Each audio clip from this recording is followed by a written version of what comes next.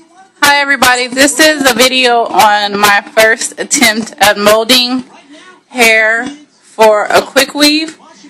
We're doing a short quick weave, um, but she is going through transition from relaxed to natural. So I did this technique because I wanted to do an invisible part.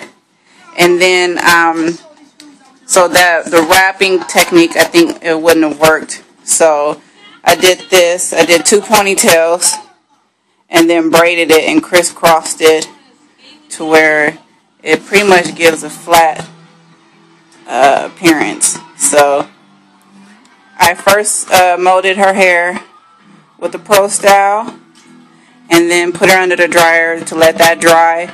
And then once the gel dried, I went in with the 30 second weave uh, wonder wrap and put her under dryer again for about 15 minutes. And so now I'm about to proceed with the quick weave.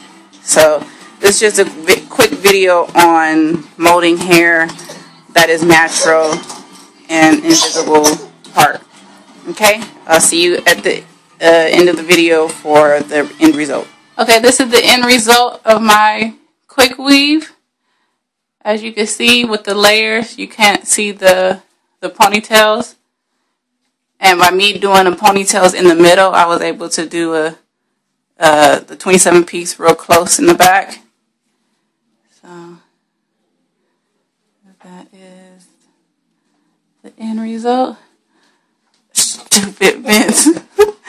and that is my uh, invisible part.